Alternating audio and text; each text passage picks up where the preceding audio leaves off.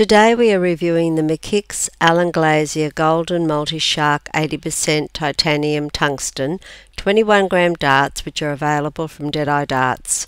This is the current McKicks darts packaging. The darts come complete with dart flights, nylon shafts, point protector and an ABS plastic carry case. The barrels are 45.6 mm long with a diameter of 7.1 mm.